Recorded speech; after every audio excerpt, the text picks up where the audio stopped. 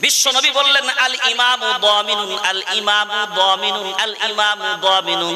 ইমামটা যা তা কোনো শব্দ নয়। সূরার নাম সূরা বানি ইসরাঈল 15 নম্বর পারা 8 নম্বর সাফার, দ্বিতীয় নম্বর আয়াত। ইয়াউমা নাদউ কুল্লা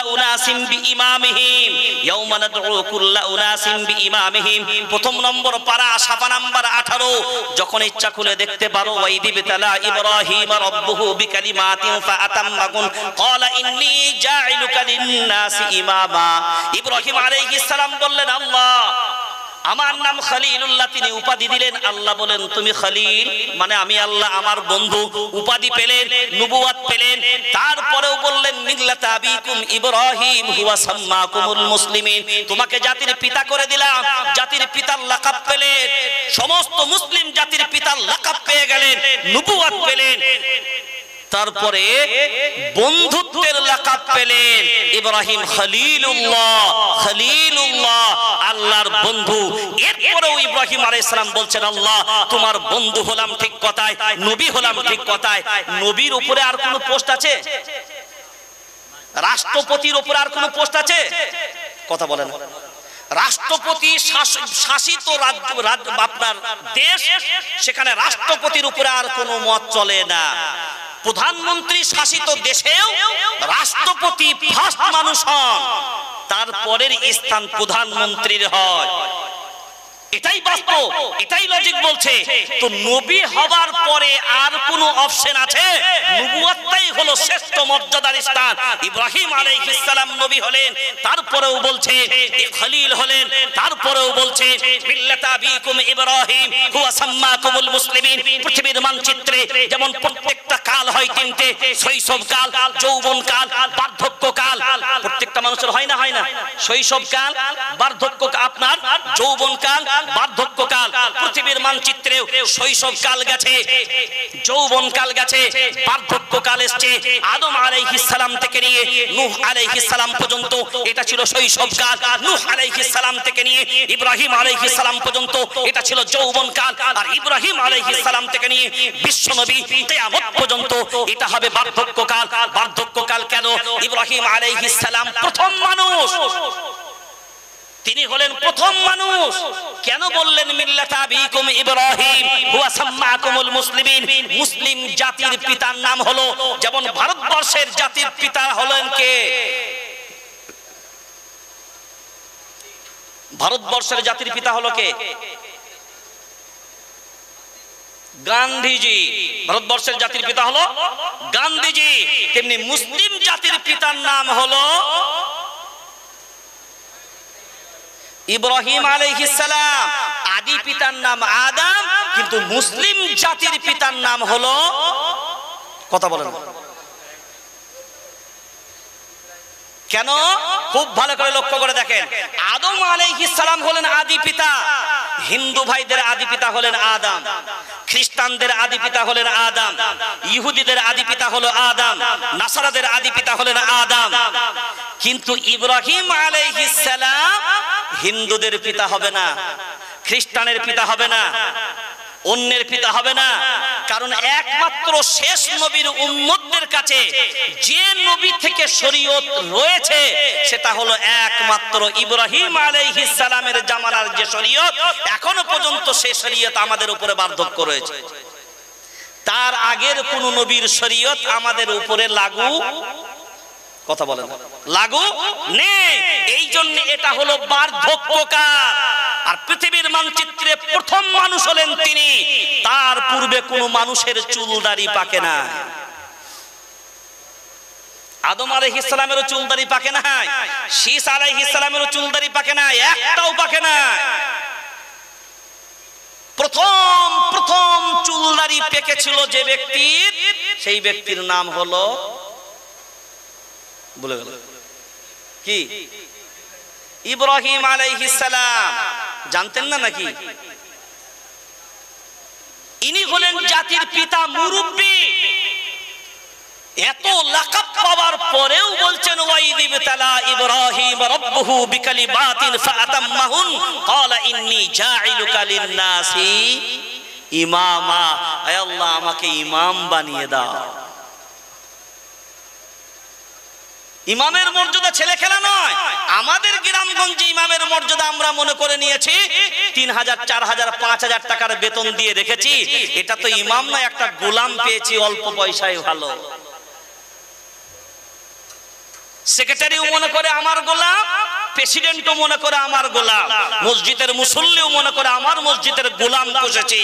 আর আমাদের ভিতরে অনেক ইমাম আছে, ওই গোলামিটাকেই পছন্দ করে তার ইমামতির লাইফ কাটিয়েছে। সেক্রেটারি এসে বলছে, হুজুর, এক গ্লাস পানি খাওয়াও তো। আলেমকে অর্ডার করছে, সেক্রেটারি, এক গ্লাস পানি দেন। এই এই তো দিচ্ছি হুজুর, দিচ্ছি। শুধু পানি খাবেন না একটা খেজুরও দেবো। মেহমান এসছে, পানি খাওয়ানো আলাদা জায়গা। কিন্তু ইমামকে অর্ডার দিয়ে কোনো কাজ করানো কথা বলে মসজিদে শরীয়তের ফতোয়া, মেম্বারের সামনে ঘড়ি দেখছেন টাইম হয়ে গেছে বেলা একটাই আপনার জোহরের জামাত। ইমাম যদি মসজিদে অবস্থান করে, কোনো মুসল্লির হিম্মত নাই, শরীয়তের মশলা হলো টাইম হয়ে যাবার পরেও ইমাম সাহেবকে অর্ডার দিবার অনুমতি নাই।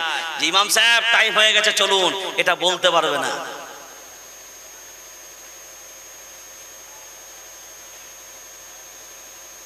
টাইম যদি ওভার হয়ে যায়, পাঁচ মিনিট ওয়েট করতে হবে ইমামের জন্য। আমাদের বিবেক দিয়ে বলেন তো, যদি টাইম হাফ মিনিট চলে যায়, কিছু কিছু মুচুল্লি আছে দেখবেন, আবার মসজিদে গিয়ে খালি ঘড়ির কাঁটা দেখে। খালি ঘড়ির কাঁটা দেখে, বেটা নামাজ টাইম একটু যাক, মালটাকে ধরবো। গেলেই ধরবো। ও রেডি হয়ে আছে। বাস্তব বলছি না অবাস্তব বলছি আপনাকে? এই পথটাকে মর্যাদার পথটাকে আমরা গোলামীর পদে পরিণত করেছি। আমার জাতির দশা এই কারণে এই কারণে পনেরো বিশ হাজার টাকা করে এক একজন বক্তা ভাড়া করে নিয়ে আসতে হয় বছরে একবার। হাজার হাজার লক্ষ লক্ষ টাকার প্যান্ডেল খরচ করে সমাজকে সংস্কার করার জন্য এই বছরে একবার নিয়ে আসতে হয়। কিন্তু বছরে একবার এই তিন ঘণ্টা, চার ঘণ্টা বয়ান বক্তব্য হবার পরে হবে কি? কারণ সব তো স্যাঁতলাই ভরে গেছে। আর ওখানে পা দিলেই তো পিছলে পড়বে। এই এক বছর পরে যদি মনে করো একটা রাতের জলসায় এই ঈশানগরীটা পরিবর্তন হয়ে যাবে, তাইলে তো আর কোনো কথাই ছিল না।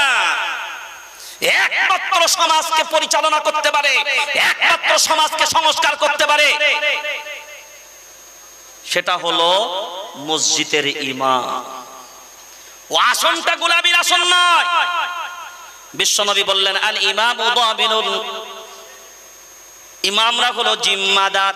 ইমামরা হলো, কথা বলেন, ইমামরা হলেন জিম্মাদার। কাদের জিম্মাদার?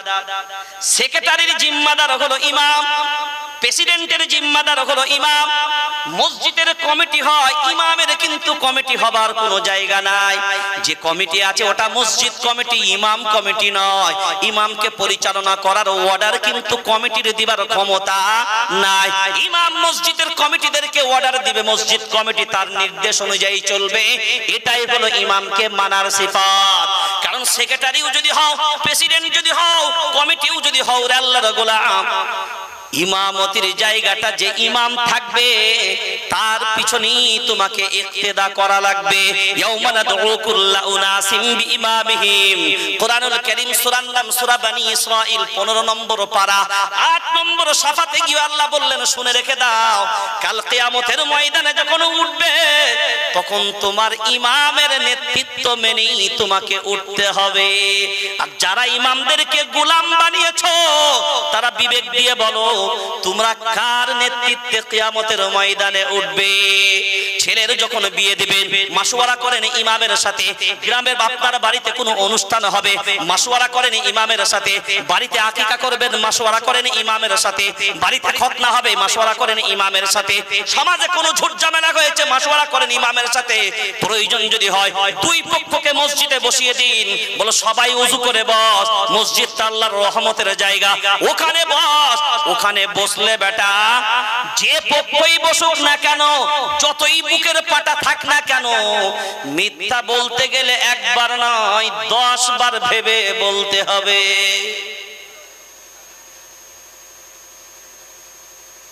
বুঝতে পারেন না এই কথা? আর সেই সমাজের মাঝখানে যদি আমরা ইমামের সেই জায়গাটা রাখতে পারতাম, ওই জন্য যেটা বলতে বলতে এখানে আসলাম, সেটা কি আপনাদের মনে আছে? দেখি আপনারা জলসা কেমন শুনছেন? আমি তো আমার জায়গায় ইনশাআল্লাহ ফিরে যাব।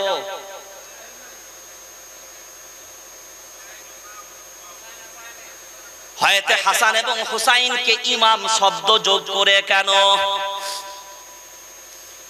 যদি ইমাম শব্দ হয়তো হাসান এবং হুসাইনের পিছনেই যদি শুধুমাত্র যোগ করো, তাহলে বুঝতে হবে ওই শিয়ায় ইমামিয়া যারা, ওরা দুইজনকে ইমাম বলে মানে আর কাউকে ইমাম হয়তো ওমর কেউ ইমাম মানে না হয়তো আবু বাক্কার কেউ ইমাম।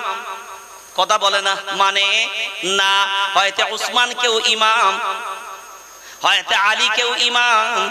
মানে না কারণ কারোর মুখ থেকে কি কোনোদিন শুনেছেন? ইমাম আলী রাদিয়াল্লাহু তাআলা ইমাম উসমান রাদিয়াল্লাহু তাআলা ইমাম উমর ওমর রাদিয়াল্লাহু তাআলা ইমাম আবু সিদ্দিক, আর ইমামুল মুরসালিন সাইয়্যিদুল মুরসালিন, ইমামুল মুরসালিন বিশ্বনবী জনাবে মুহাম্মাদুর রাসূলুল্লাহ। হিজরত যখন আপনার যখন আপনার মেরাজের রাত্রিতে যাবেন মক্কা থেকে যখন আপনার বাইতুল মাকদিসে যখন আসলো, সব নবীগুলোকে আল্লাহ কাতারে দাঁড় করিয়ে দিয়েছেন মুক্তাদির জায়গায়। ইমামতির জায়গাটা ক্লিয়ার রাখলেন। আল্লাহ বুঝাতে চাইলেন, শুনে রেখে দাও, আমার নবীকে সব মর্যাদা দিয়েছি, সব মর্যাদা দিলাম সব মর্যাদা দিলাম। তারপরেও একটা মর্যাদা এখনও পর্যন্ত দিতে বাকি আছে। সব নবীদের তিনি নবী, এতে কোনো সন্দেহ নাই।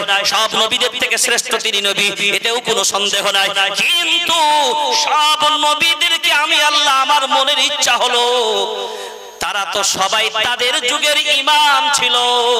কিন্তু আমার নবীর পিছনে কেউ ইক্তেদা এখনও করেনি, বলো। ওই জন্য আমি আল্লাহ সব নবীদেরকে মুক্তাদির কাতারে দাঁড় করিয়ে দিই। আমার মায়ার নবী মদিনাওয়ালাকে আমি ইমামতির জায়গায় দাঁড় করিয়ে, ওই বাইতুল মাকদিসের ইমামের জায়গা যখন ফাঁকা, আদম আলাইহিস সালাম কাতারে দাঁড়িয়ে আছে।